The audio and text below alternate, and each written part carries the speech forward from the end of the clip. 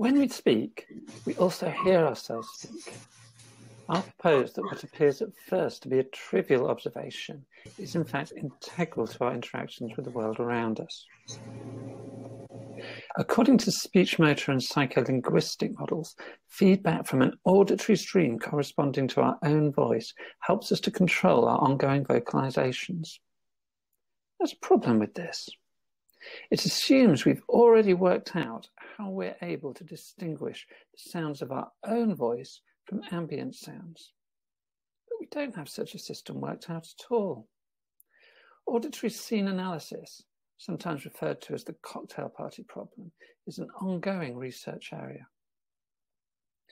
I was interested in the process by which we're able to recognize the sounds of our own voice. Could it happen in the ear? Probably not, but let's have a look more closely. We hear our own voice through two different routes. One is conducted through air around the head, and the other is conducted through the neck sometimes called bone or body conduction. This is why recordings of your speech sound funny. They capture the sound traveling around your head, but not the sound traveling through your neck. So recordings capture only half of what you hear when you're talking. Now, the inner ear has distinct sets of mechanoreceptors. The cochlea is a spiral structure in which mechanoreceptors are deflected by ambient sounds. And the vestibular system is a series of chambers with mechanoreceptors deflected by changes in motion. It turns out that vestibular mechanoreceptors are deflected by sound as well as by motion. Air conducted sound, coincident on the eardrum, doesn't deflect vestibular mechanoreceptors very much at all. But body conducted sound containing a similar amount of energy deflects vestibular mechanoreceptors a lot. So much so, in fact, that there's no doubt that vestibular mechanoreceptors are deflected when we hear ourselves speaking. Let's go back to our problem of how we recognize the sounds of our own voice. Perhaps it can happen through coincidence detection between deflections of cochlear and vestibular mechanoreceptors. That's my first hypothesis, which I'll call H1. There are a couple of ways I think this hypothesis could be tested. One is to research with animal models, but animal testing isn't really my area. So I looked at the other way, which is to research groups of people who might misidentify their own speech. Now, I don't have time to go into it here, but I'm pretty sure people who stutter are one such group. So now I have two hypotheses. I'm going to test them at the same time through inference to the best explanation. People who stutter have normal hearing, at least as far as the cochlea goes, but we don't know much about their vestibular system. So an obvious starting point was to appraise the vestibular system in people who stutter. There's a standard clinical test, the vestibular evoked myogenic potential, or VEMP, which gives insight into vestibular function. It's actually a test of the vestibulocollic reflex. So you put an active electrode onto a neck muscle and a reference on the sternum and record the changing potential across the muscle while you play tone burst stimuli to your participant. The VEMP's pretty big response and it scales linearly with stimulus level once you've done a log transform of the amplitudes. This means you can do a linear mixed model analysis using repeated measures. I thought this would be a nice way to get a bit more statistical power. I had 15 participants with paired controls. Let's take a look at the results. This is a histogram showing VEMP amplitudes for all participants independent of stimulus level. It's not a statistically valid comparison because it doesn't account for the repeated measures. But you can get an idea of distributions, which seem fairly normal. It also looks like there might be a group difference. Box plots of participants show pairing along with distributions of VEMP amplitude. In nine cases, participants with stuttering have clearly smaller VEMP amplitudes than their pairs. In five cases, there's a partial overlap, which will be evaluated in the linear mixed model analysis. Only one participant who stuttered had a clearly larger VEMP amplitude than the paired control. Stuttering onset for this participant was at 10 years old and was consistent with psychogenic stuttering. There was also a participant who cluttered among the five having partial overlap. Both of these participants could have been excluded on the basis that they're not typical cases of persistent developmental stuttering. Excluding the participants would have increased group differences. However, both participants were retained. The analysis was conservative. Plotting regression lines of stimulus level versus VEMP amplitude for each participant gives an idea of what to expect with a linear mixed model analysis. It's looking like for any stimulus level, the paired controls will have a larger VEMP amplitude than participants who stutter. But we need to run the analysis to find out. When we do, we have the statistically significant result that VEMP amplitude is 8.5 decibels smaller in people who stutter than in paired controls. That's with a fixed slopes model, but results are similar if we allow the slopes to vary. This study had a pilot with five participants who stutter and matched controls. Running the same analysis on the pilot data gives the statistically significant result that VEMP amplitude is 10.1 decibels smaller in people who stutter, similar to the main study. These decibel differences suggest that people who stutter are experiencing the vestibular component of their own speech with about half the intensity of those who don't stutter. What does it mean? With this result, we should for now set aside the null hypothesis and continue to research the idea that vestibular response differs between participants who stutter and controls.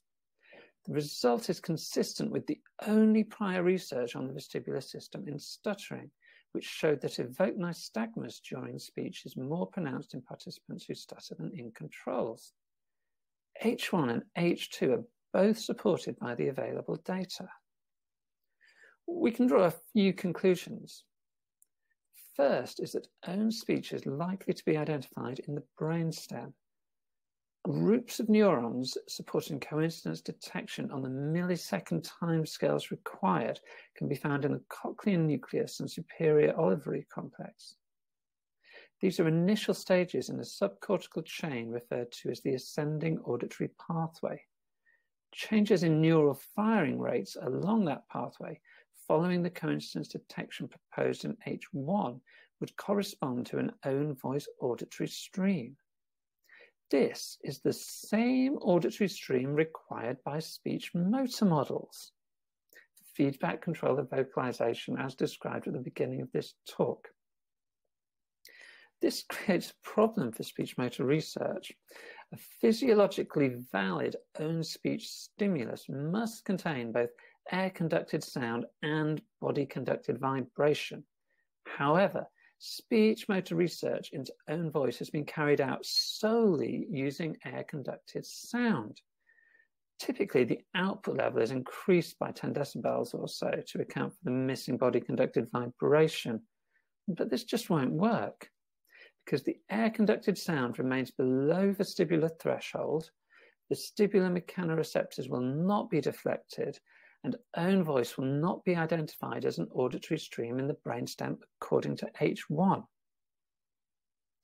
As a result, conclusions drawn from speech motor research are not as strong as they might appear to be. For example, a consistent finding in many experiments is that parts of temporal cortex which respond to sound have reduced activity when participants vocalize in comparison to when participants hear playback of their vocalization. This has been interpreted as speech motor activity modulating the temporal cortex and is sometimes called speech induced suppression. But the conclusion is invalid.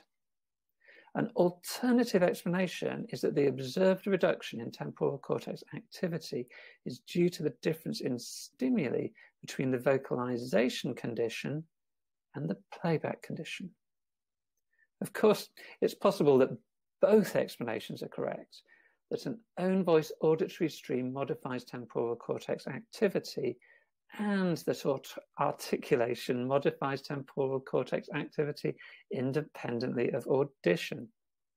The point is, we don't know from the data currently available. Exploring physiologically valid speech stimuli, that is, stimuli with coincident air conducted sound and body conducted vibration, offers the opportunity to increase explanatory power of speech motor models. For example, several authors have proposed that a difference in speech-induced suppression between those who do and don't stutter underlies the observed stuttering behavior. In direct tests, these proposals received indifferent support, but the tests used vocalization versus air-conducted playback comparisons, which are not physiologically valid. As a result, the proposal that moderation of temporal cortex by speech motor activity differs between people who do and don't stutter remains live. It's one of the possibilities for H1 and H2 when applied to a feedback control model. As well as the overlap between auditory and vestibular nuclei in the ascending auditory pathway, there is an overlap between cortical areas important for speech and language and those with connections to the vestibular system. However, this overlap has received little investigation in addition, cerebellar vermis receives direct innervation from the vestibular periphery. This innervation could be important for persistent developmental stuttering, since both trait and state comparisons in stuttering show differences to controls in activation levels of cerebellar vermis. I've talked mainly about H1 today, but in conclusion wanted to briefly touch on H2, the proposal that people who stutter misidentify their own speech. I actually developed this before H1. I wanted to explain why altered auditory feedback is effective in reducing stuttering and also why stuttering has word and situational level variation.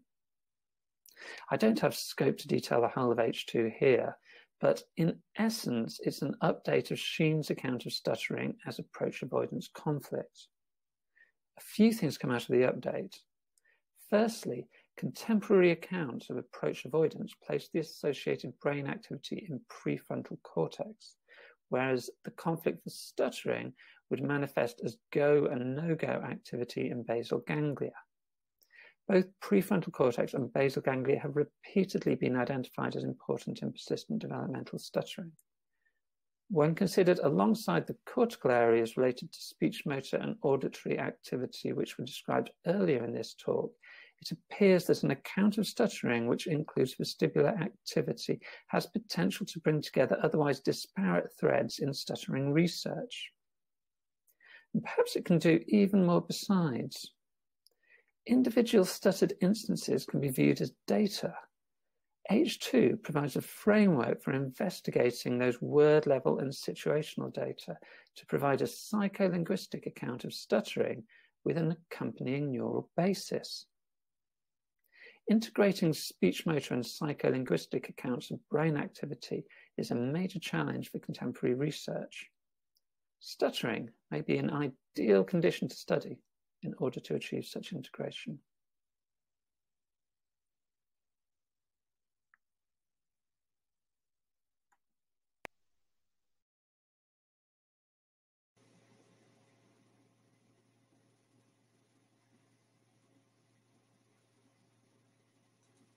Okay, so um, I would like to invite um, Max, I guess, to the um, platform. If you can, if you're there and you can turn. Oh, there you are. Okay.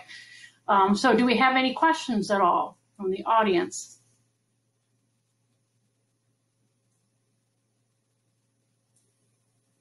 It's a stunned silence. I'm sorry, what? Um, it's a stunned silence, I hope.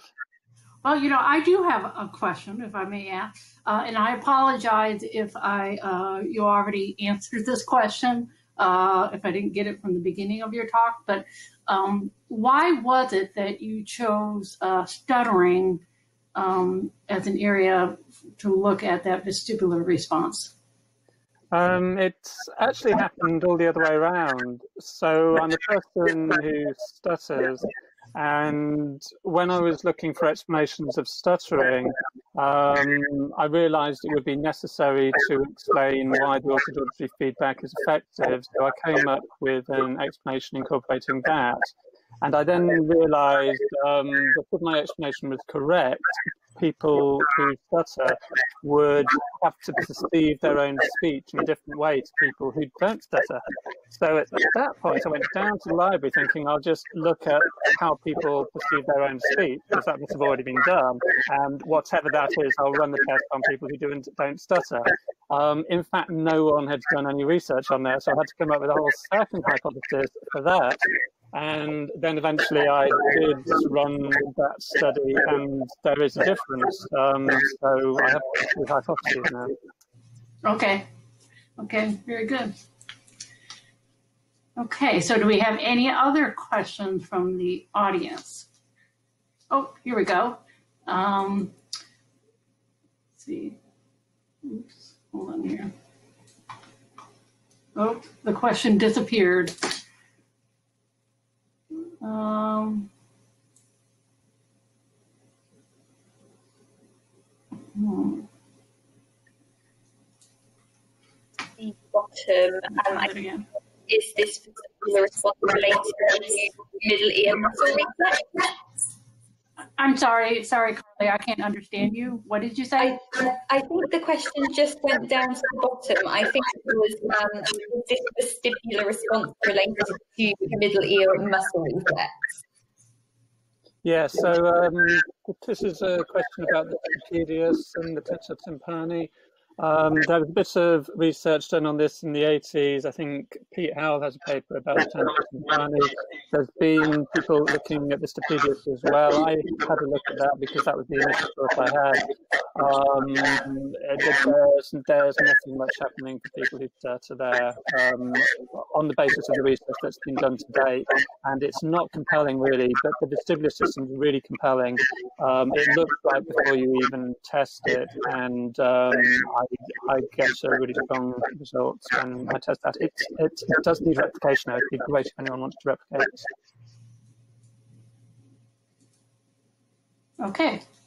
All right. Um, thank you very much. So um, with that, I guess we will move on to our next uh, presentation um, which is um, from uh, Mindy uh, Bakhtiar and uh, Kurt Eggers, uh, exogenous response inhibition in adults who stutter.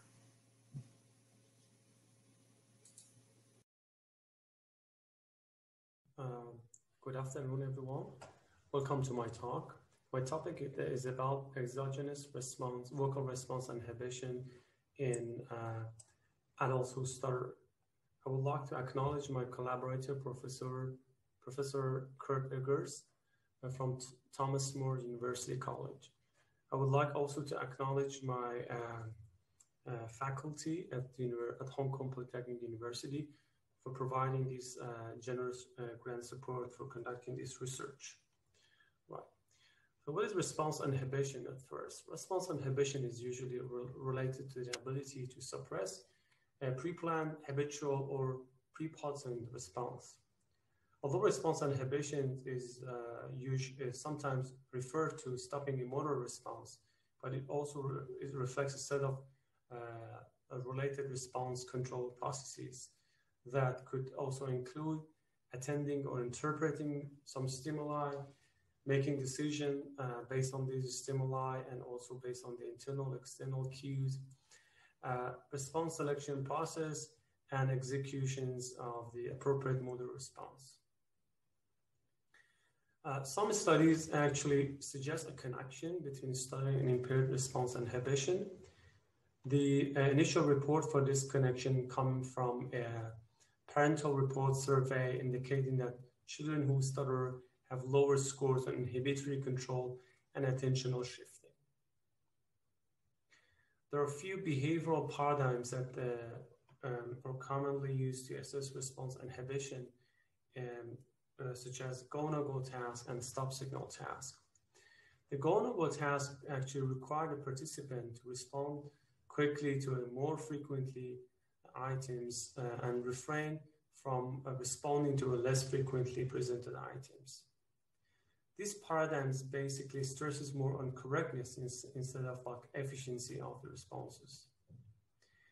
Children who and adults who stutter who uh, um, like were tested under these paradigms are showing that they have more difficulty to inhibit manual responses in reaction to the no-go signals compared to the fluent speakers. Another paradigm for assessment of inhibitory control is a stop signal task. So in this uh, task, usually the person needs to stop an already initiated response by presence of a go signal in reaction to the presence of a, a stop signal. It is believed that a stop signal task is more suitable for assessment of motor response inhibition because it requires the inhibition of a motor response that has already initiated. However, the go-no-go task uh, require inhibition of motor response that may not be necessarily initiated. The behavioral studies that use this paradigm, uh, I mean SST, uh, stop signal task, in adult in people who stutter basically were focusing on manual response inhibition. Uh, however, the results also were controversial when different age group has been tested. For example, some studies that use this paradigm among the adult who stutters, they found that adults who stutter have longer stop signal reaction time. So that means that they were slower to uphold or withhold and already started motor commands. However, um, the other studies that use the same paradigm to test children uh, who stutter find no group uh, differences.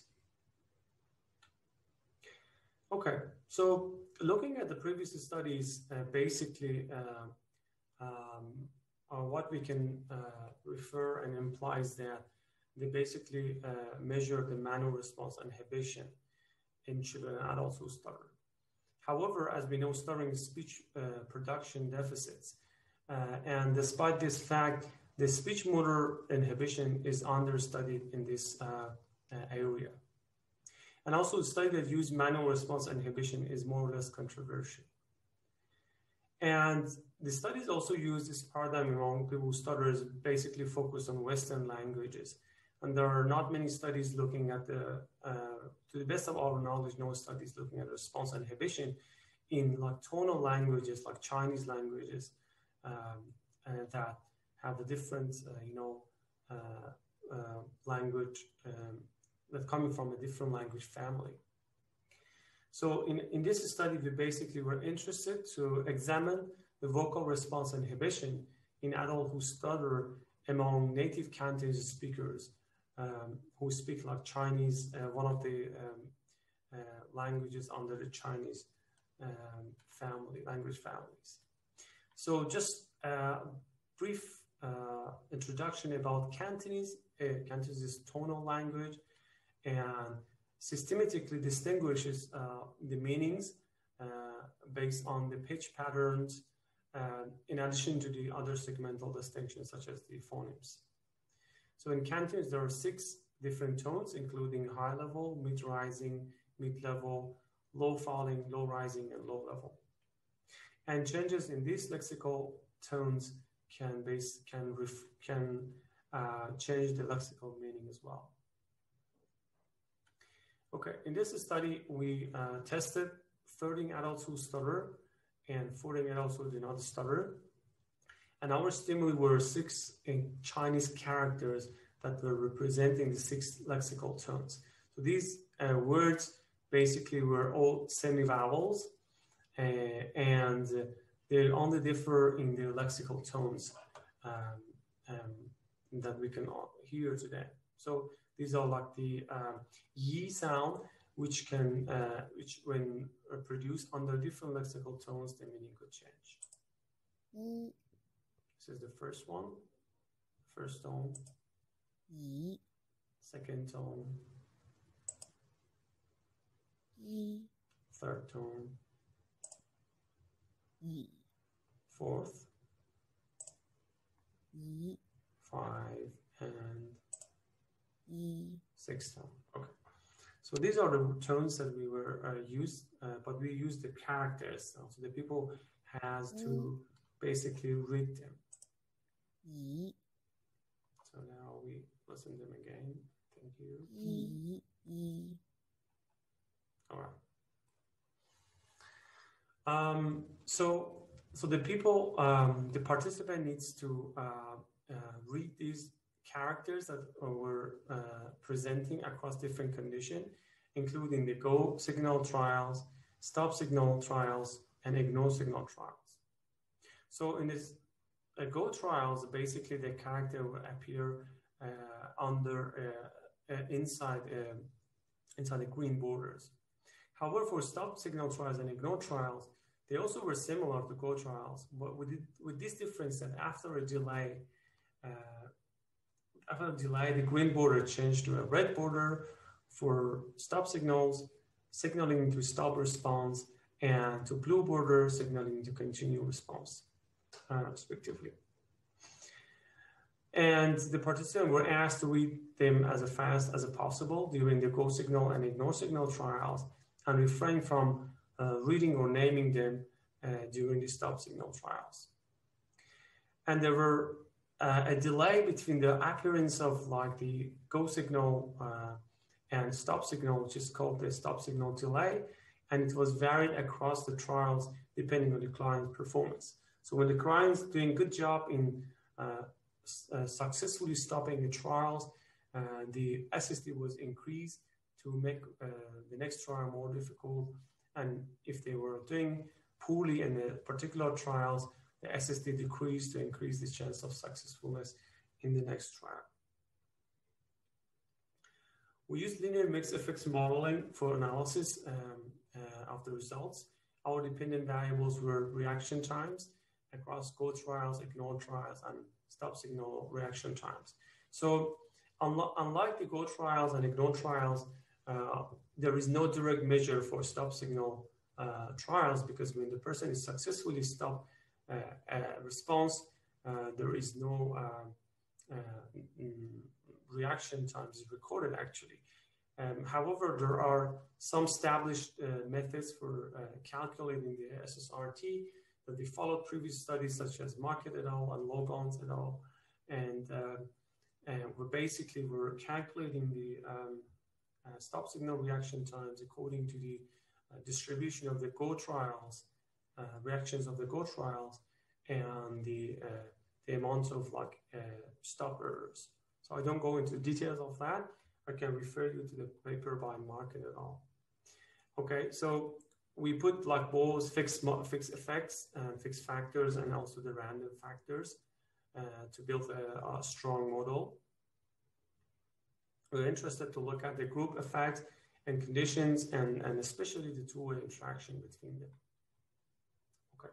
Now tapping into the uh, results. So looking at the main effects and main uh, mm, findings first. So overall, we found that adults who stutter were uh, slower um, than adults who did not stutter.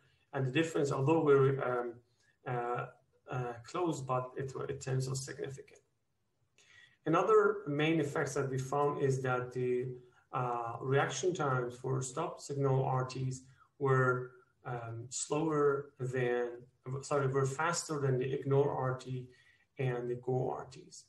So that's also interesting to see that, to indicating that for a person to be able to uh, uh, successfully with how they need to come up with this decision of stopping uh, the way um, earlier than they decide to uh, to finalize their responses uh, in Go trials and ignore trials.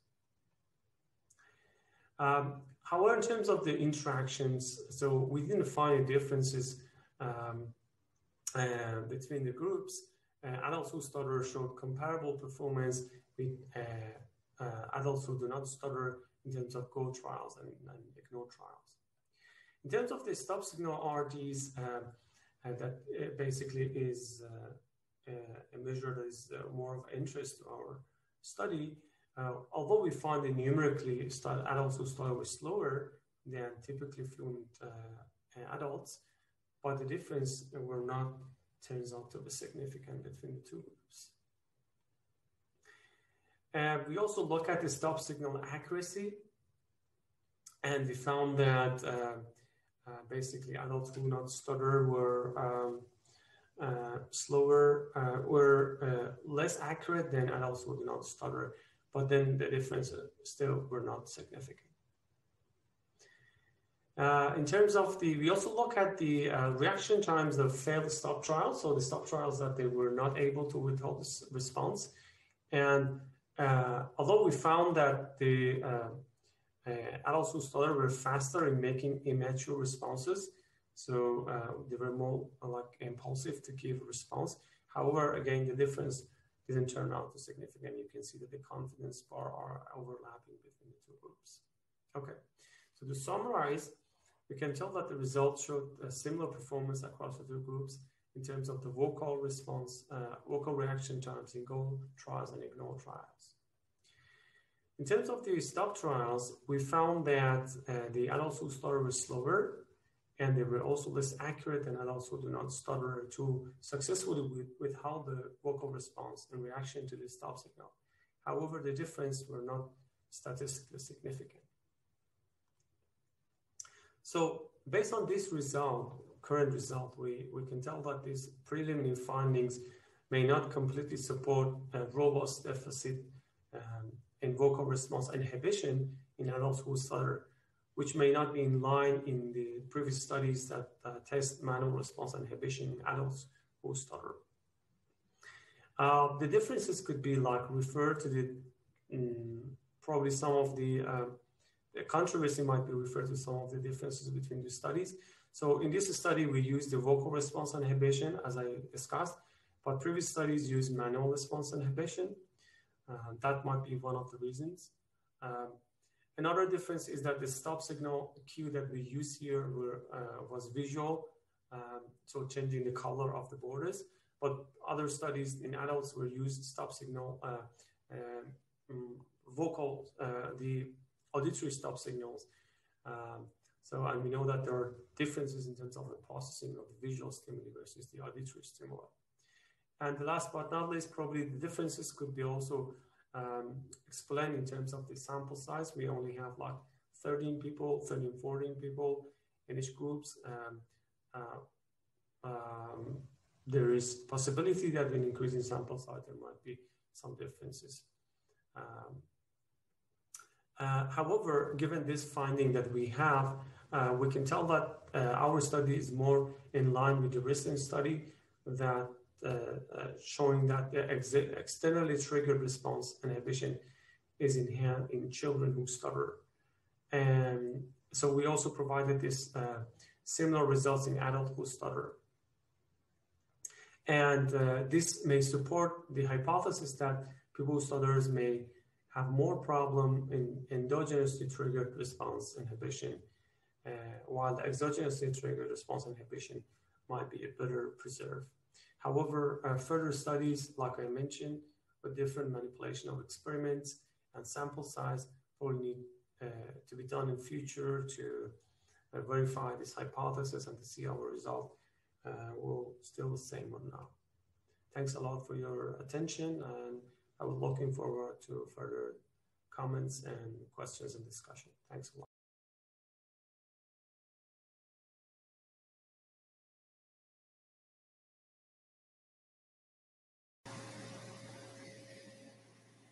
Okay, so if I could invite um, um, Mindy, if you want. Oh, there we are. Okay. All right, so we do have uh, one question uh, from the audience. Uh, the question is, uh, I might have missed it, but how are the reaction times measured for stop trials when there are no productions?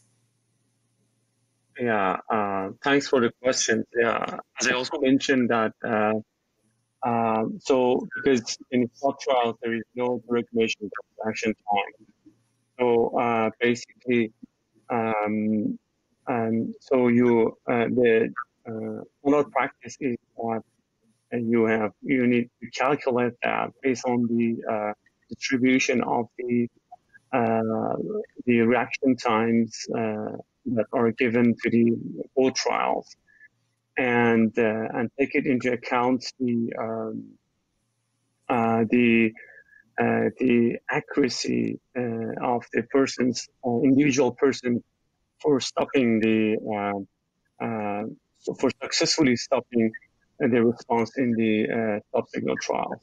There are some form formula I can refer you to the papers uh, by Market et al. and also by uh, Logan. Uh, and so that if you wanted to like uh, know about the exact formula, you can find studies. I hope it's okay. okay. Thank you. Do we have any other questions from the audience?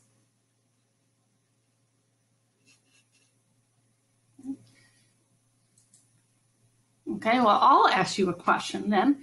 Um, I was wondering a little bit about, so you put the go trials, the ignore trials, and the stop trials all in your in the model for condition. Uh, the go trials, though, you know, to me it seems like that's really measuring attention, right? Because they're just responding to that go trial. They're not actually inhibiting anything in the go trial. It's only the no go trial where you actually have inhibition, right? And so, um, and so I guess I was kind of wondering, like, I mean, why, why? So basically, you kind of have attention and inhibition that you're putting in there all at the same time. See what I mean? Uh, so uh, the idea for having both trials and ignore trials is basically uh, to make some, um, um, you know, um, like uh, what you have in the uh, go no go tasks. So you will have the go go trials and no go trials, right? Because you wanted to like uh, you want to create a prepotent, you know, responses that like the people should make a response. So you want to initiate the motor responses uh, uh, in a way that, okay, if they really all see that like in all of the trials, the green is turned into the red, they can just anticipate, you know, and they can just give a response, uh, like withhold the response until the red is coming on. So that's for uh, motivating the persons to be able to uh, like the start their motor response as fast as possible and initiate that. And then and we present the uh, stop trials so that like halfway through or near to the like final executions they realize that now they, they need to stop the responses. So i think the uh, existence of those like ghost signals uh, are necessary. Uh, and of course, I agree with you. Attention is also there. You know, as I mentioned, uh, response inhibition is not only about the inhibiting the motor response, but also is include like attention, decision making, and yeah, and I think the whole package is there. Yeah, yeah. No, I mean I understand why the go trials are there. I mean you have to establish that potent response, but uh, I just have always kind of wondered why you know when you're measuring their performance on the go part of a task, I think you're really just measuring attention there. It's, and it's really just that no go trial where you're actually tapping into inhibition. But maybe, maybe I'm not making sense, but um, in any event. But I guess like attention is also involved in all of the trials, right? In ignore trials and also in stop trials. So uh, probably different type of attention is uh, mm, involved in that if i'm if i'm right. Like sustained attention versus you know like uh, maybe some sort of like different type of attention selective attention i would say or reactive. Uh, yeah. Okay. All right. So do we have any other questions from the audience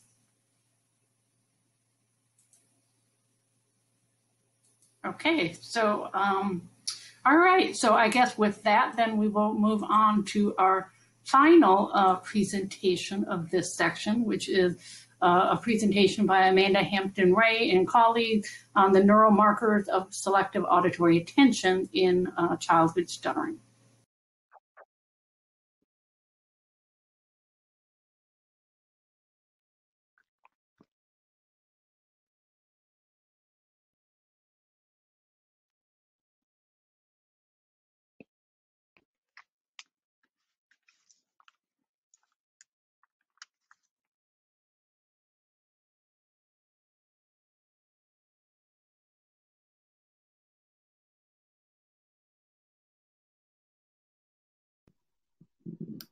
Good afternoon, and thank you for coming to our talk today.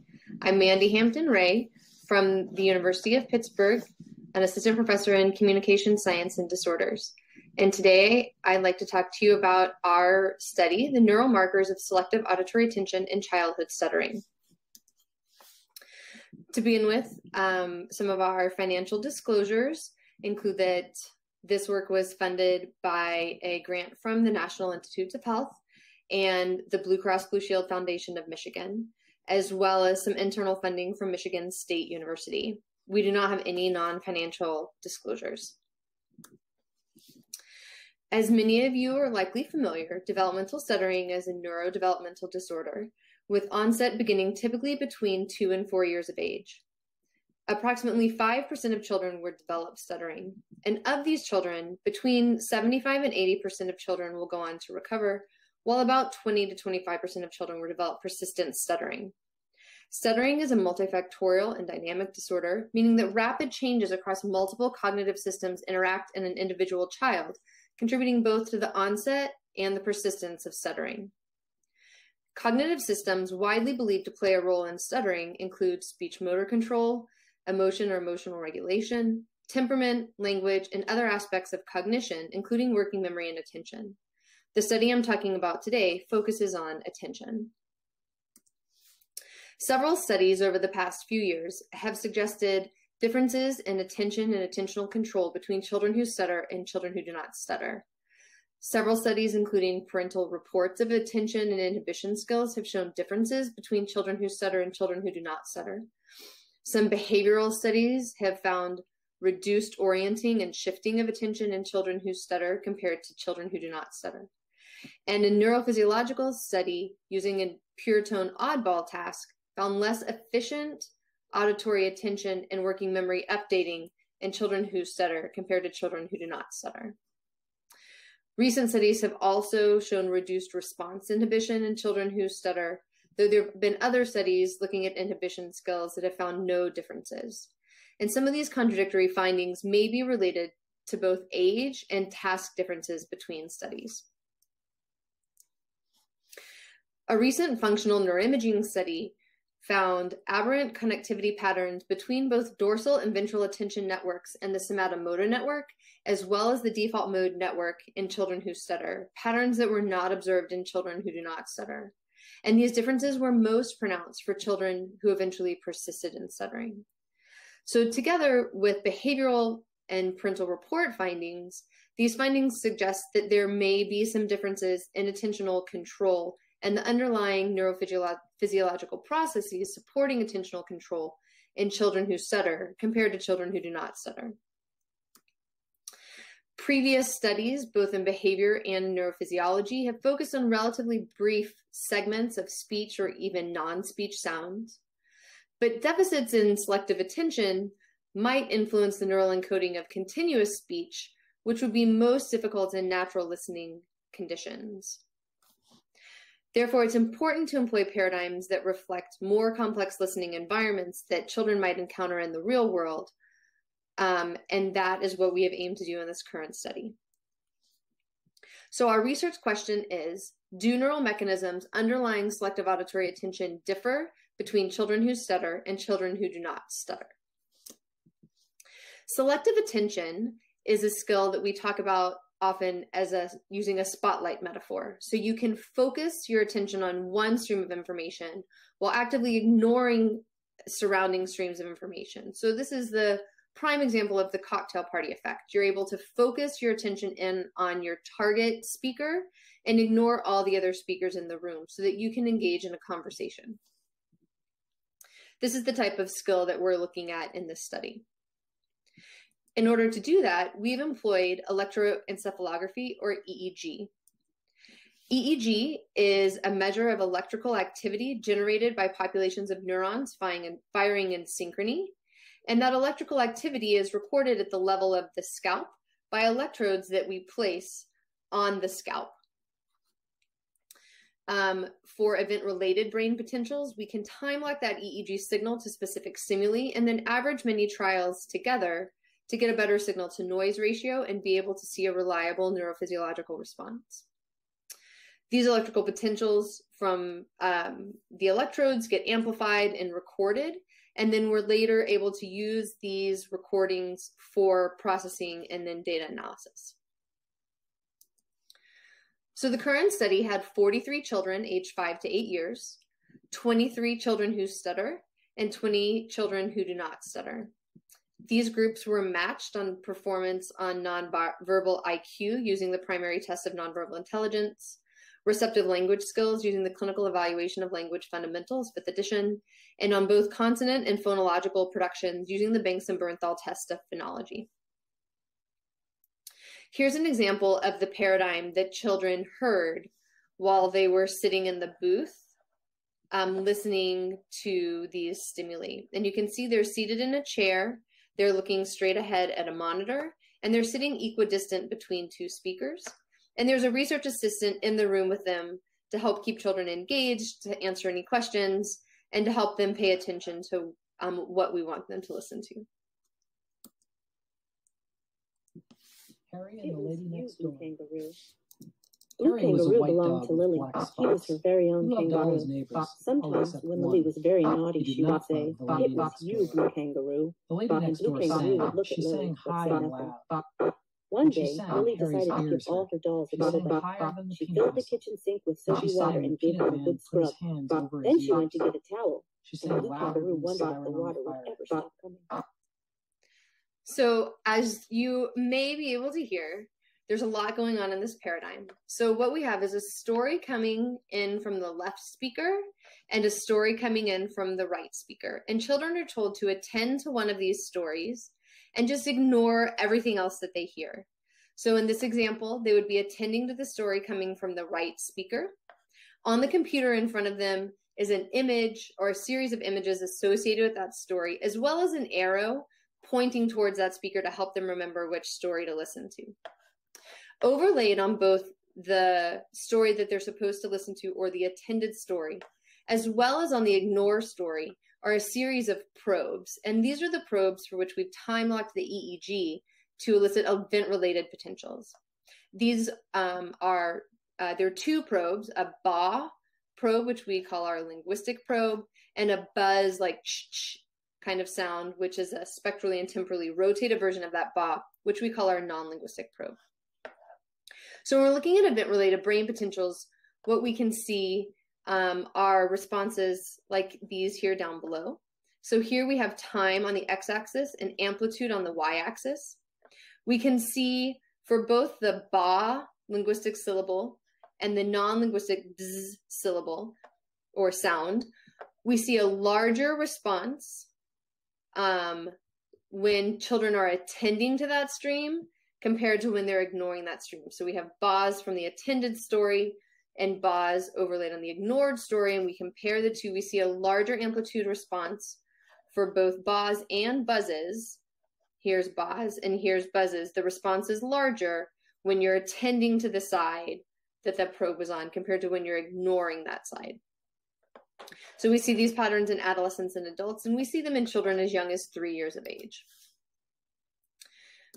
When we looked at the ERPs elicited by these probes um, for both children who stutter and children who do not stutter, what we saw was for the BA linguistic stimuli, an overall larger response for both attended and unattended syllables in the children who do not stutter compared to the children who stutter. So we can see that here in this yellow time window as well. So for both, there's not a condition interaction, for across both conditions, there's a larger negative response. Negative here is plotted upward.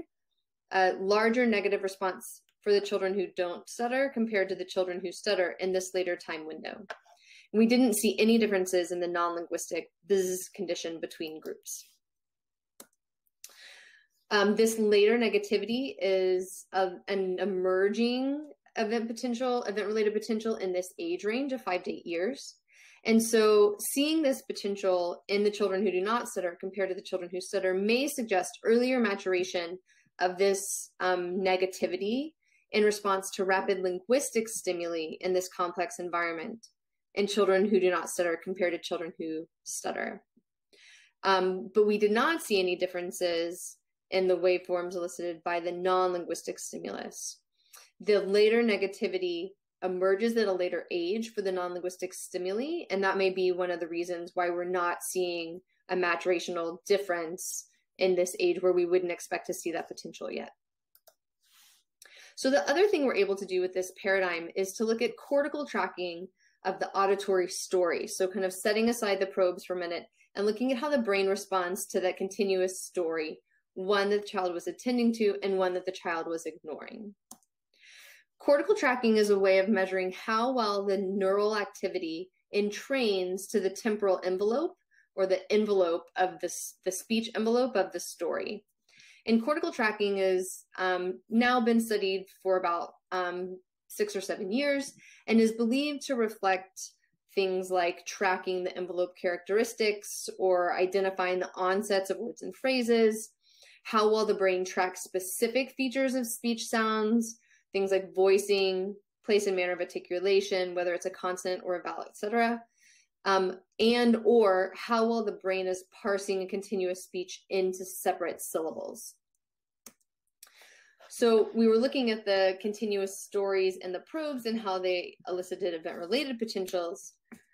But when we're looking at um, cortical tracking, what we're doing is taking the temporal envelope of each story and um, then deriving that envelope and then estimating how well, using machine learning approaches, how well the EEG maps onto that um, envelope of the story. And the similarity between the speech envelope and the uh, temporal response function, or the TRF, is estimated as a correlation. And that's our cortical tracking measure. So stronger correlations reflect better tracking of the story by um, the by the brain in these temporal response functions. So when we looked at our attended stories compared to our ignored stories, um, what we found is that all children have better cortical tracking for the attended stories compared to the ignored stories. Um, but the children who do not stutter are showing better cortical tracking for the attended stories compared to the children who do not stutter. Both groups were showing similar magnitude of cortical tracking for the stories that they were ignoring. So when children are selectively attending to a story in this complex speech environment, children who stutter are less effective at encoding the envelope of this continuous speech. And it may suggest less effective encoding of rapid changes in speech streams that we're capturing in this attention process. So we know that complex speech environments require attention, and there appears to be a dysregulation in speech perception when children are needing to attend to a specific speech stream. This does not appear to be a bottom-up acoustic sensory issue because speech perception for the non the unattended or passive condition is comparable between both groups of children. However, more research is needed to determine the underlying causes of these differences in speech envelope encoding. So to put this all together, in complex listening environments, children who stutter showed a less mature neural processing pattern for syllable encoding compared to children who do not stutter, but this did not differ as a function of attention. They also showed less efficient cortical tracking when they're attending to a continuous auditory speech stream compared to children who do not stutter in the presence of competing speech. And these patterns may suggest differences in higher order cognitive processes that support support speech perception in complex listening environments. All of this work happens with an amazing team of researchers. So I'd like to thank our collaborators at the Michigan State University Developmental Stuttering Project, um, all of the people in my Brain Systems for Language Lab, both at Michigan State and at the University of Pittsburgh, as well as the members of the Sound Brain Lab at the University of Pittsburgh for all their um, work on this project. Thank you for listening.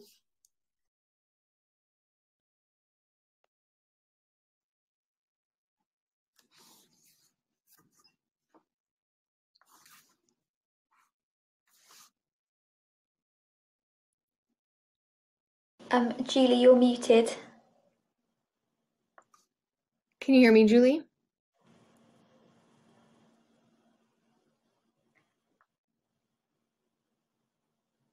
Julie, we can't hear you at the moment. Could you just try refreshing your screen?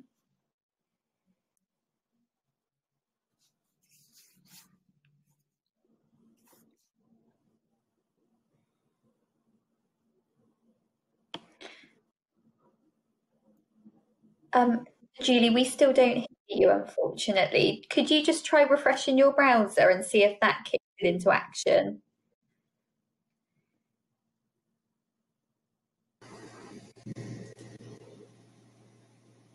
Okay, can you see me now?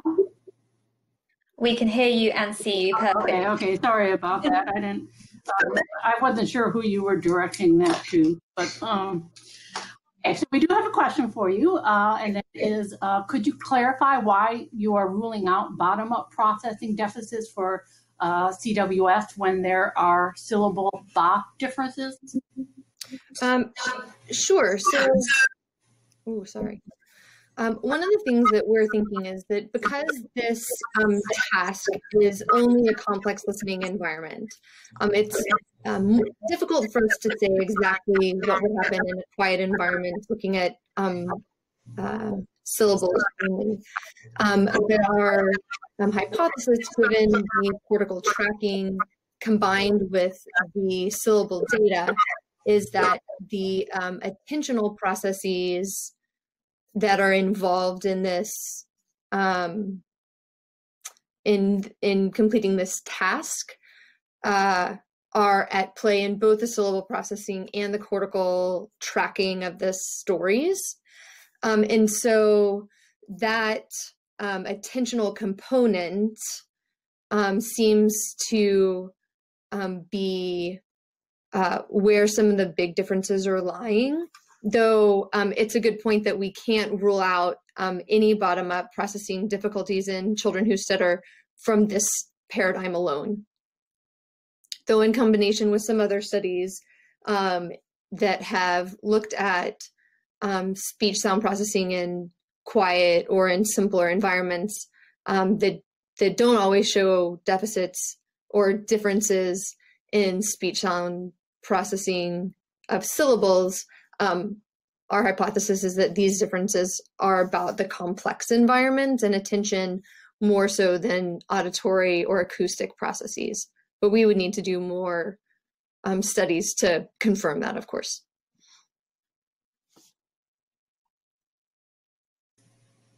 Okay, do we have any other questions from the audience?